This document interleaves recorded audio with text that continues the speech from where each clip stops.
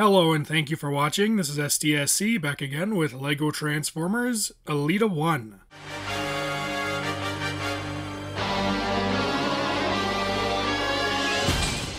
This is a bit of a special video and a first for the channel. This build isn't based off any official transforming character or an existing LEGO Transformer OC, but actually fan art, specifically the Elita 1 design by the artist Jeet This is the first time I've built a model based off existing fan art, and it's something I've been interested in pursuing for a while.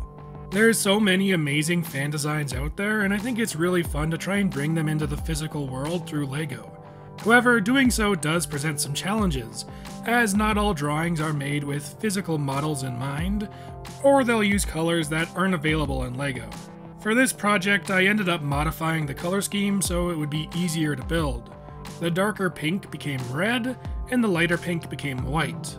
Elita is designed to be a space hero and transforms into a rocket ship, the original artwork pulls some kinda impossible warping and color hiding, so I approach this mode less from a perspective of perfect physical accuracy and more so just capturing the overall shaping and key details.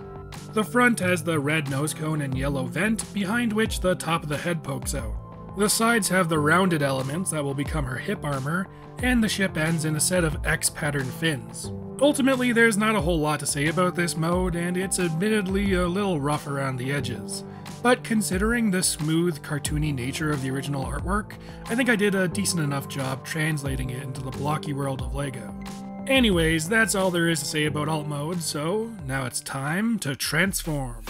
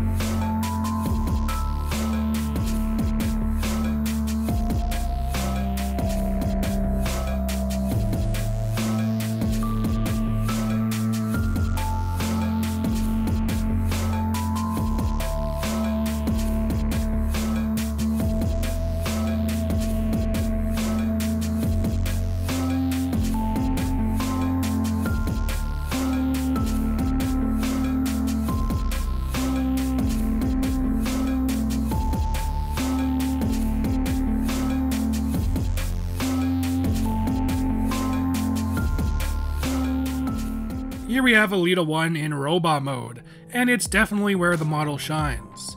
This mode got priority in terms of color placement and kibble, which was the obvious choice to make. As such, I was able to capture nearly all of the details and shaping of the original design. The feet were the first thing I came up with for this model. I'd been stockpiling these rounded pink pieces for a while, and I knew they'd be the perfect way to make the feet become the fins. The hips use a similar design to my G1 Shadow Striker, which allows them to compress in rocket mode. One of my favorite parts of the model is the way the nose cone transforms to become the shoulder pads. Initially, I was unsure how I'd capture that aspect of the design, but I think what I came up with is a rather elegant solution. The one negative is that her actual shoulders do end up sitting a little low on the body, but with smart posing, it's easy enough to hide that. For the head, I did simplify down the color blocking to an entirely red helmet, but it doesn't distract much from the look. I approximated the Tesla coil-like horns by using a pair of bar connectors and opaque Barraki eyes.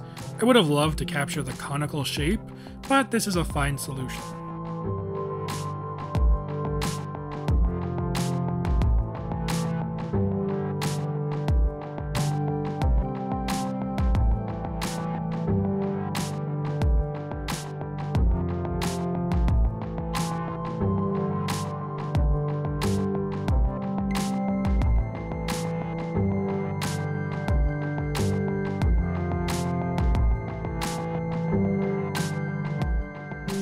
This was a fun foray into something I've been meaning to try for a long time.